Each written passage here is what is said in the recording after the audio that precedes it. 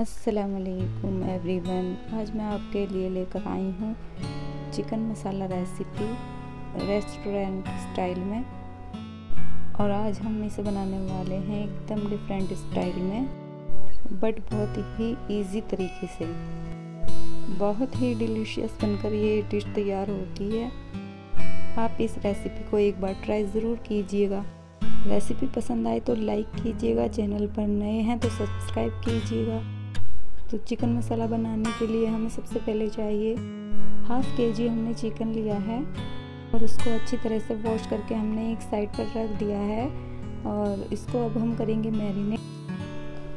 एक कटोरी हमने इसमें दही ऐड कर लिया है और तीन चार हमने हरी मिर्चें बीच में से कट करके ले ली हैं और आधा चम्मच हल्दी पाउडर और एक चम्मच कश्मीरी लाल मिर्च पाउडर और एक चम्मच नमक और एक प्याज फ्राई करके हमने ले ली है और कुछ हरा धनिया और एक चम्मच अदरक लहसुन का पेस्ट और ये सबको हम मिक्स कर लेंगे और मिर्च हमें कश्मीरी ही लेनी है क्योंकि हमें कोई इसमें फ़ूड कलर अलग से ऐड नहीं करना है, इसलिए हम कश्मीरी लाल मिर्च का ही यूज़ इसमें करेंगे।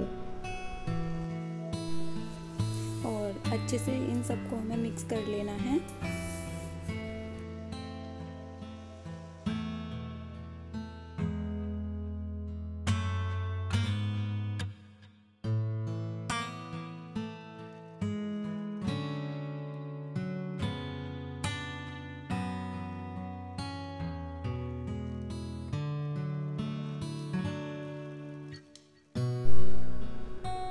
अब इसमें मैं चिकन मिक्स कर लूँगी अच्छे से।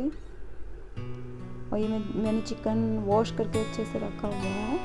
और मैं इसे एक बार फिर से मिक्स कर दूँगी सभी को।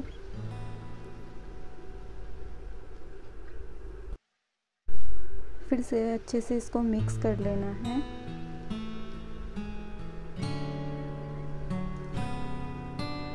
अब हमें रख देना है इसको मैरिनेट करने के लिए 20 से 25 मिनट तक के लिए।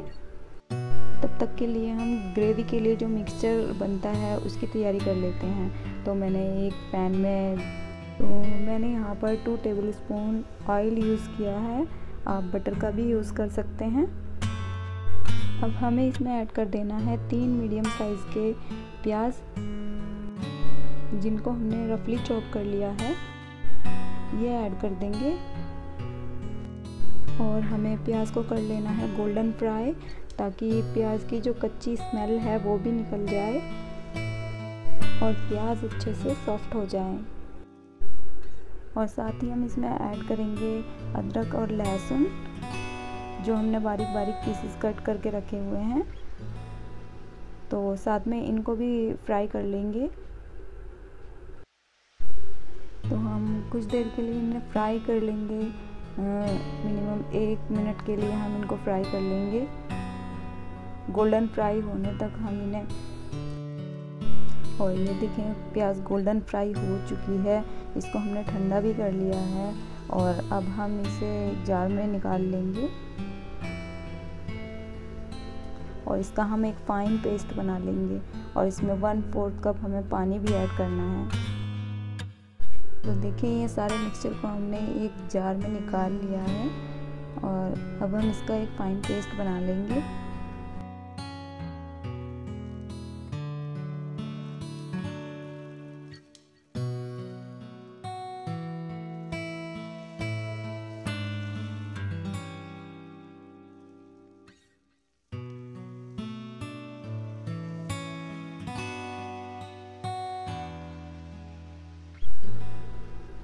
तो ये हमारा फ़ाइन पेस्ट बनकर रेडी हो चुका है और उसके बाद मैंने रख दी है कढ़ाई गरम करने के लिए। मुझे करने हैं कुछ मसाले रोस्ट उसके लिए मैंने, उसके लिए मैंने एक चम्मच ज़ीरा ले लिया है, एक चम्मच सौंफ ले लिया है, एक चम्मच धनिया ले लिया है और आठ दस काजू ले लिए हैं और पाँच छः लाल मिर्चें ले ली हैं साबुत और एक दालचीनी का टुकड़ा लिया है और काली मिर्चें ली हैं छः।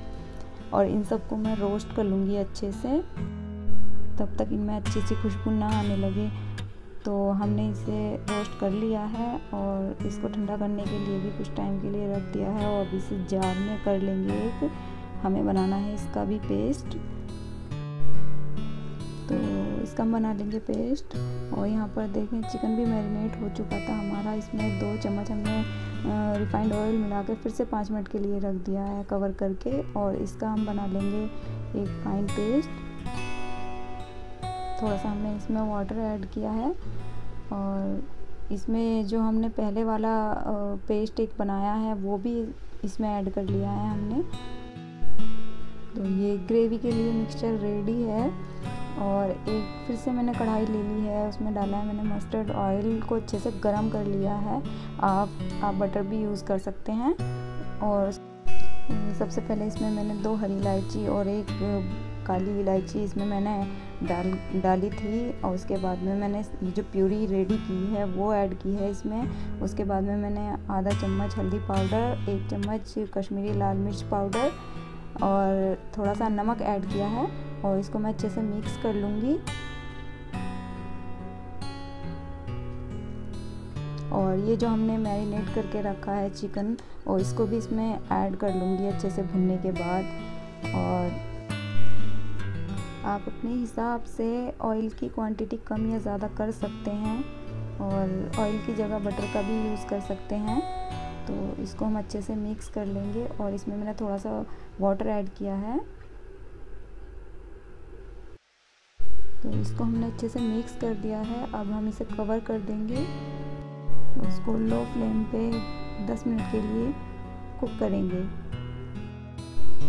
तो जी, मेरे बेटे का कल एग्ज़ाम है तो मैंने उसको कुछ लर्न करने के लिए दिए थे चैप्टर तो मैं वही उसका चेक कर रही थी कि वो लर्न किया है उसने या नहीं। तो देखिए चैप्टर मैं उसे रीड करा रही थी। कल की उसकी प्रिपरेशन करा रही हूँ। एग्ज़ाम की।